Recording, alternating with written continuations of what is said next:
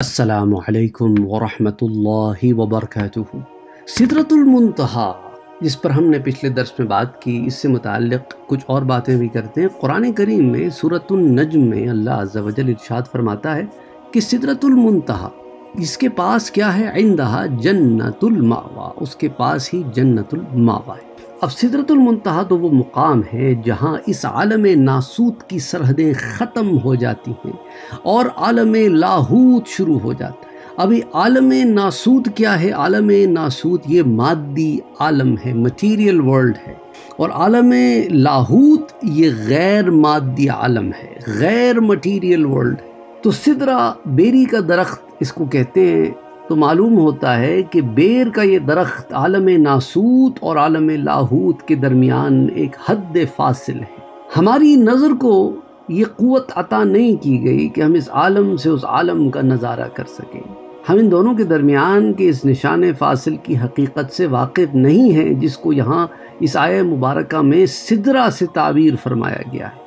ये चीज़ें मुतशाबहात में दाखिल हैं, इसलिए कि कुरान करीम की हिदायत के मुताबिक इन पर ईमान लाना हमें चाहिए। इनकी हकीकत हमें समझ में आए या ना आए, ये लाजिम नहीं है। इनकी हकीकत सिर्फ़ अल्लाह अज्ज वजल ही की ज़ात जानती। इंदहा जन्नतुल मावा, ये सिदरतुल के मुकाम की निशानदही फरमा दी कि इसके पास जन्नतुल मावा भी है। जिस तरह सिदरतुलमता आलम नासूद की आखिरी हद पर है, इसी तरह जन्नतुल मावा आलम लाहूत के नुक़ आगाज़ पर है। मावा के माना क्या हैं? क़याम के, यानी वो जन्नत के मरने के बाद मोमिनों का मस्कन है, उनका मुकाम है। वो सातवें आसमान पर सिदरतुलमता बेरी के दरख्त के पास है। हज़रत अब्दुल्ला इब्न मसऊद रज़ी अल्लाह तु फरमाते हैं कि शब मराज हुजूर सल्लल्लाहु अलैहि वसल्लम ने सिदरतुलमतहा पर ला तादाद फरिश्ते देखे और नूर खुदा इस पर जगमगा रहा था और कसम कसम के रंग जिन्हें अल्लाह के सिवा और कोई नहीं जान सकता। और ये दरख्त सोने की टिड्डियों से लदा हुआ था। हुजूर सल्लल्लाहु अलैहि वसल्लम को वहाँ तीन चीज़ें अता फरमाई गई। नमाज़ पंजगाना, सूरह बकरा की आखिरी आयात और आपकी उम्मत में जो मुशरक ना हो, उसकी बख्शिश की खुशखबरी, ये सही मुस्लिम की रिवायत है। हज़रत अबू हुरैरा रज़ी अल्लाह तहु से रिवायत है कि जिस तरह कौवे किसी दरख्त को घेर लेते हैं। इसी तरह शब मराज में हुजूर सल्लल्लाहु अलैहि वसल्लम ने देखा कि सिदरतुल मुंतहा का इस तरह मलाइका ने चारों तरफ़ से हिसार किया हुआ था। हज़रत मुजाहिद रहमतुल्लाह जो मशहूर ताबई हैं, फरमाते हैं कि इस दरख्त की शाखें मुख्तलिफ़ जवाहरात की थी। याकूत भी था, उसमें जबर ज़बरजुद भी था और बहुत सारी चीज़। और इबन जैद फरमाते हैं कि हुजूर अलैहि वसल्लम से सवाल हुआ कि आपने सिदरा पर क्या मंज़र देखा? आपने फरमाया, इसे सोने की टिड्डियाँ ढांके हुए थीं और हर एक पत्ते पर एक एक फरिश्ता बैठा अल्लाह की तस्बीह कर रहा था। आपकी निगाहें दाएँ बाएँ नहीं उठी, जिस चीज़ को देखने का हुक्म था, बस वहीं पर निगाहें जमी रहीं। साबित कदमी और इतात कामिल की ये दलील है कि जो हुक्म मिला, बस वही बजा लाना है। तारीख़ इबन कसीर में मालम तंजील में काफ़ी तफसीलात मौजूद हैं। सिदतुलमतहा सातवें आसमान पर अरश मल्ला के नीचे बेर का दरख्त है। इमाम मुस्लिम की रिवायत में इसे छठे आसमान पर बताया गया है और दोनों रिवायतें जो छठे सातवें आसमान वाली और छठी आसमान वाली हैं, इनमें तदबीक या मुआफ़त इस तरह मुमकिन है कि उसकी जड़ छठे आसमान पर और शाखें सातवें आसमान पर फैली हुई हैं। जैसा कि तफसीर कुरतबी में भी आता है। तो सोचें वो दरख्त कैसा होगा जो एक आसमान से शुरू हो गए दूसरे आसमान से बुलंद होता हो। अल्लाह अकबर अल्लाह अकबर। वो दरख्त कैसा होगा? इसको हम और आप सोच भी नहीं सकते। और आम फरिश्तों की रसाई की आखिरी हद है इसलिए इसको मुंतहा कहते हैं। और बाज़ रिवायात में है कि अहकाम इलाहिया पहले अरश मल्ला से सिदरतुलमतहा पर नाजिल होते हैं। यहाँ से मुतल फ़रिश्ते के सुपुर्द होते हैं और ज़मीन से आसमान पर जाने वाले आमाल नामे वगैरह भी फ़रिश्ते यहीं तक पहुँचाते हैं। तो वहाँ से हक़ ताली के सामने पेशी की कोई और सूरत होती है। मुस्ंद इमाम अहमद में ये मजमून हज़रत अब्दुल्ला इबन मसऊद रज़ी अल्लाह तु से मनकूल है और इसी को फिर हाफिज़ इबन कसीर ने भी रिवायत किया है। अच्छा इंदहा जन्नतुल मावा के माना ठिकाना और आराम की जगह जन्नत को मावा इसीलिए फरमाया कि मोमिन का असल ठिकाना जन्नत है। मौत के बाद यही दायमी मकाम है। यहीं आदम और हवा सलाम की तख्लीक हुई। कि वो जन्नतुल मावा में रहते थे। बाद महक़ीन का यही ख्याल है कि उनका मुकाम जन्नतुल मावा था। उनकी तख्लीक भी इसी जन्नत में हुई। और इसी जन्नत में रहते थे और यहीं से उन्हें ज़मीन पर उतारा गया और फिर सालहीन और मुत्तकीन का यही जन्नत आखिरी मुकाम होगा। और ये आय मुबारक ने ये भी बता दिया कि जन्नत इस वक्त भी मौजूद है, जैसा कि जमी उम्मत का अकीदा है। जन्नत और दोजक क़यामत के बाद पैदा नहीं की जाएँगी, बल्कि ये दोनों मकाम इस वक्त भी मौजूद हैं। इसके अलावा अगर कोई अकीदा रखे तो वो बातिल अकीदा है। जो ये बिलीव रखे कि जन्नत बनाई जाएगी दोजक तख्लीक होगी, वो बातिल अकीदा है। ये दोनों अभी मौजूद हैं। और इस आयत से जन्नत का महल वकू भी साबित हो गया कि वो सातवें आसमान के ऊपर और अरश मुल्ला के नीचे है। गोया सातवां आसमान जन्नत की ज़मीन और अरश बनी उसकी छत है। दोजख का महल वकू किसी आयत कुरान या रिवायत हदीस से सरी हन साबित नहीं होता कि वो कहाँ लोकेटेड है, लेकिन है लोकेटेड सूर्य तूर की एक आयत है, जिससे बाज़ मुफसरीन ने, मफहूम निकाला है कि दोजक समंदर के नीचे ज़मीन, अभी वो समंदर कौन से समंदर हैं? अब देखें ना, एक समंदर तो हमारी ज़मीन पर है। अल्लाह बेहतर जानता है अल्लाह के तखरीक में कितने समंदर हैं। देखो ना, एक पानी वो भी तो है, जिसके जो है जिस पे सारी कायनात खड़ी हुई है।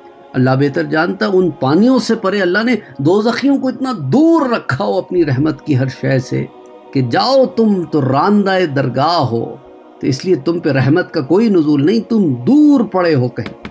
अच्छा बाज़ लोग आला, तहकीकी आलात के ज़रिए से वो देख, समझते हैं कि दोजक समंदर के नीचे ज़मीन के अंदर जो कोर हैं, उसके अंदर जो मोल्टन कोर्स हैं, उनमें मौजूद है कि जब ज़मीन क़यामत में जब फटेगी तो आग पूरे समंदर यूँ फैल जाएगी। वो ख्याल करते हैं कि शायद दोजख यूँ होगी।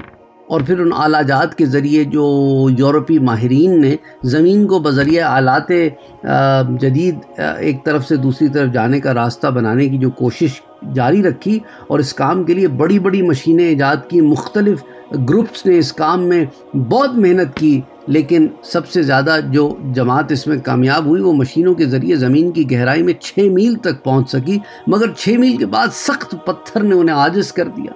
तो फिर वो दूसरी तरफ़ से खुदाई शुरू की, मगर यहाँ भी वही हाल रहा कि पत्ता तो आपके पास वो चीज़ ही नहीं है जो आप उसको ब्रेक कर सकें।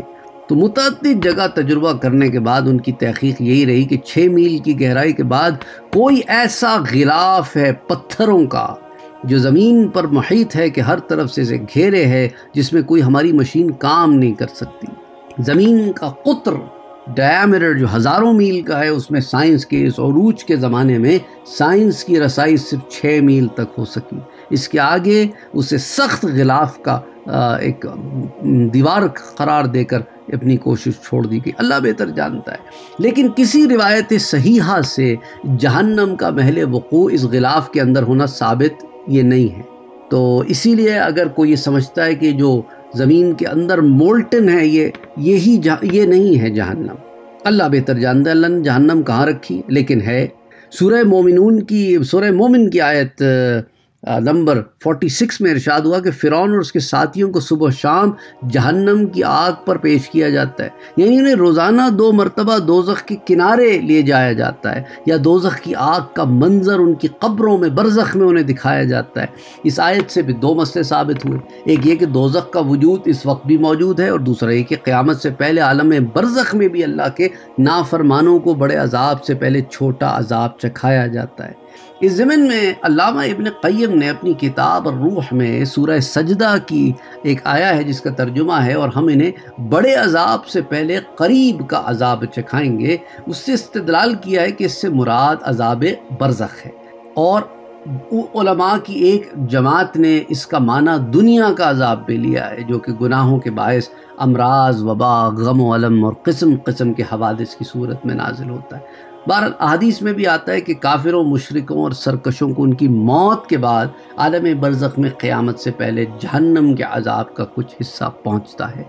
तो मालूम क्या हुआ कि जहन्नम इस वक्त मौजूद है। अहले जहन्नम को उनके जहन्नम में दाखिल से करने से कबल मैदान हशर में जहन्नम का खौफनाक नज़ारा कराया जाएगा और बताया जाएगा कि तुम्हारे हिसाब के बाद तुम्हारा ठिकाना ये होगा। जैसा कि फजर में आता है और लाया जाएगा उस क़्यामत के रोज़ जहन्नम को। वह जी यौम इदिम भी जहन्नम, कि जहन्नम को लाए जाने का क्या मतलब है? अल्लाह ने ये तो नहीं कहा कि क्रिएट करूँगा जहन्नम को। लाए जाने का मतलब ये और किसी किस, किसी तरह जो है, अल्लाह बेहतर जानता है। जिस तरह भी इसकी तफसीलात बाज़ रवायात में आती हैं, जो मैंने पहले भी आपसे ज़िक्र किए, कि मैदान हशर में ये लाई जाएगी, इसकी हकीकत अल्लाह जानता है। ज़ाहिर यह है कि जहन्नम जो है, वो जहाँ पर भी है, अब वो सातवीं ज़मीन अल्लाह बेहतर जानता है। सातवीं इन सात ज़मीनों पर मैंने आपको एक दर्स दिया है। लेकिन अगेन, वो ऐसी बात है, उनमें बहुत सारी ऐसी बातें हैं, जिन्हें हम समझने से कासिर हैं। We can not understand those things हम नहीं समझ सकते उन चीज़ों को। Exactly exactly. अगर हम समझ रहे हैं कि ये ज़मीन को खोदेंगे तो एक ज़मीन निकलेगी, उसको एक खोदेंगे तो ज़मीन निकलेगी। नहीं, ये सात ज़मीनें नहीं है। ये एक हमारा डायमेंशन है, जिसके अंदर थ्री डायमेंशनली हम चीज़ों को एनालाइज करते हैं, देखते हैं। लेकिन ज़रूरी नहीं है कि थ्री डायमेंशंस के बाहर और कोई डायमेंशंस नहीं है। और जितना यूनिवर्स हमें नज़र आता है, इसके बाहर कोई यूनिवर्स नहीं है। इसके बाहर कोई मखलूक नहीं है। इसके बाहर कुछ और नहीं है। हम नहीं कह सकते, क्योंकि हमें खबर ही कोई नहीं, हमें इल्म ही नहीं है। देखे ना, फरिश्ते हम अपने डायमेंशन से इस डायमेंशन में हमें देखते हैं, हम उन्हें देख नहीं सकते। जिन्नात अपने डायमेंशन से हमें देखते हैं, हम उनको देख नहीं सकते। यहाँ तक कि वो हमारे डायमेंशन में एंटर हो जाएँ किसी मटेरियल फॉर्म में, उस मटेरियल फॉर्म से निकल के जो उनकी अभी है तो फिर हम उनका मुशाहिदा कर सकते हैं उस फॉर्म में। फरिश्तों का भी यही आलम है, इंसानी शक्ल में आ जाए, हम देख लें, इंसानी शक्ल में ना हो तो हम उन्हें नहीं देख सकते। अब हाफिज़ इबन कसीर ने सही मुस्लिम की एक रिवायत जो है वो नकल की है और सही मुस्लिम में भी मौजूद है कि हुजूर सल्लल्लाहु अलैहि वसल्लम ने फरमाया कि जहन्नम की उस रोज़ सत्तर हज़ार लगामें होंगी और हर लगाम पर सत्तर हज़ार फरिश्ते होंगे। जो उसे घसीट रहे होंगे तो सोचो जहन्नम कितनी बड़ी होगी कि जिसकी सत्तर हज़ार लगामें और हर लगाम पे सत्तर हज़ार फरिश्ते। ये छोटी मोटी मैथ्स तो आप भी कर लें। कैलकुलेटर निकालें और कैलकुलेटर में ज़रा ये नंबर्स तो ज़रा आप डालें ना। आप डालें इसमें एक तरफ़ सेवेंटी थाउज़ेंड। उसको आप मल्टीप्लाई करें सेवेंटी थाउज़ेंड से। अब आप खुद देख लें कि कितने फरिश्ते आए आपके सामने?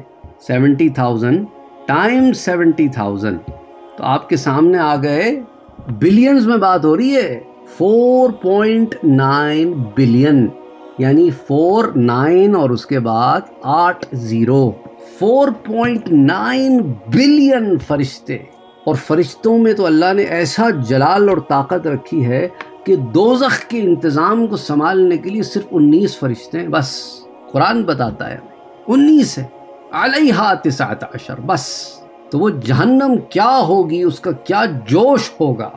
हज़रत अब्दुल्ला इब्न मसऊद से रिवायत है कि हुजूर सल्लल्लाहु अलैहि वसल्लम ने फरमाया कि क़यामत के दिन जहन्नम को लाया जाएगा, इस हाल में कि इसकी सत्तर हज़ार लगामें होंगी और हर लगाम पर सत्तर हज़ार फरिश्ते होंगे।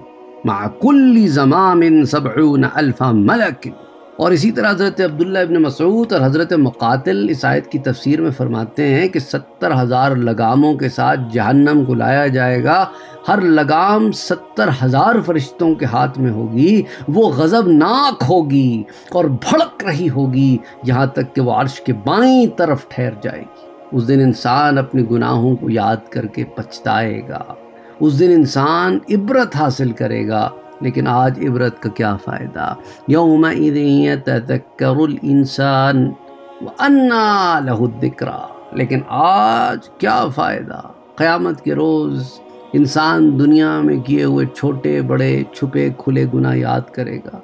हसरत और अफसोस से अपने हाथ काट काट कर खाएगा। सूरह फजर में आता है और इंसान कहेगा कि, काश व यकूल या लईतनी कदम तुली हयाती कि काश मैं अपनी ज़िंदगी के लिए कुछ आगे नेक आमाल भेजता। तो इससे मालूम क्या हुआ कि मैदान हशर में इंसान को ये बात समझ में आएगी कि दुनिया की ज़िंदगी तो दरअसल ज़िंदगी थी नहीं। जो कि फ़ना हो गई और वो तो दरअसल आखिरत के लिए तैयारी का वक्फ़ा था। ज़िंदगी तो फिर हकीकत आखिरत की है, जिसके लिए दायमी बका है, इसलिए तो हसरत कर रहा है कि मैं अपनी ज़िंदगी के लिए कुछ आगे भेजता। ज़िंदगी तो ये है, या इतनी कदम तुली हयाती, हयात तो अब भी है। वो जो बीच में एक जुदाई हुई थी, वो तो एक पीरियड था। ज़िंदगी तो ख़त्म नहीं हुई थी। मुस्द इमाम अहमद में है कि हुजूर सल्लल्लाहु अलैहि वसल्लम फरमाते हैं कि अगर कोई बंदा अपनी पैदाइश के दिन से मरते दम तक सजदे में पड़ा रहे और अल्लाह का सही तौर पर फरमा बरदार हो, तब भी अपनी इतात और इबादत को क़यामत के दिन हकीर समझेगा और तमन्ना करेगा, अगर मैं दुनिया की तरफ़ लौटा दिया जाऊँ तो खूब नेक काम करूँ। और अल्लाह सुबहाना व ये जो आयत में फरमाता है सूरतुल्फ़ज्र की कि उस रोज़ ना तो अल्लाह के अजाब की तरह कोई अजाब देने वाला निकलेगा। फ़योम अदिब अदाब अहद वला यूफ़िक अहद और ना उसके जकड़ने के बराबर कोई जकड़ने वाला होगा। यानी वो सज़ा, जज़ा ऐसी होगी कि इसकी कोई नज़ीर मिसाल नहीं। अल्लाहुम्मा इन्ना नाऊदुबिका मिन गज़बिका व नसअलुका रहमतक ए अल्लाह हम पना मांगते हैं तेरे गज़ब से और तुझसे तेरी रहमत का सवाल करते हैं आमीन अल्लाहुम्मा सल्ली अला मुहम्मद वाला आली मुहम्मद सल्लल्लाहु अलैहि वसल्लम दिल से खौफ अजाब उठ जाए किसी शायर ने क्या खूब शेर कहा है कि दिल से खौफ अजाब उठ जाए इससे बढ़कर अजाब क्या होगा अल्लाह अकबर अल्लाह अकबर। इसलिए हज़रत उस्मान गनी रज़ी अल्लाह तु किसी कब्र के पास जब खड़े होते तो इस कदर रोते कि आंसुओं से उनकी रीश मुबारक तर हो जाती। सलफ़ का अजाब कब्र से एक बड़े खौफ का आलम है। फिर इन ताला किसी और दस में इसको तफसील से देखेंगे। अल्लाह ने चाहा तो अल्लाह हमें तोफ़ी अता फ़रमाए कि अल्लाह की इबादत में, उसकी तात में खलूस के साथ लगे रहें। लगे रहें और अल्लाह हमारी इन इबादतों को कबूल भी फरमाए और हमसे राज़ी भी हो और हमारा मामला आसान हो, आमीन। अल्लाह सुबहाना व ताली हमारे प्यारों को जो हमसे जुदा हो गए हैं बख्श दे मुआफ़ फरमा दे, उनके दर्जात को बुलंद फरमा दे और हमारे गुनाहों को बख्श दे हमारी औल आला औलाद को दीन इस्लाम पर कायम व दायम रखे और उन्हें हमारी आँखों की ठंडक भी बनाए और और हमें और हमारी आल औलाद को, हमारे अहल को, हमारे रिश्तेदारों को, हमारे प्यारों को दुनिया और आखिरत में कामयाबी अता फ़रमाए आमीन। अल्लाम सल महमद महमद